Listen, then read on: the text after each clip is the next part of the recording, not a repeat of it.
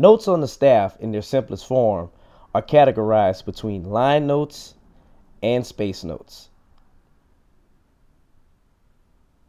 Line notes has a line that passes through the note head.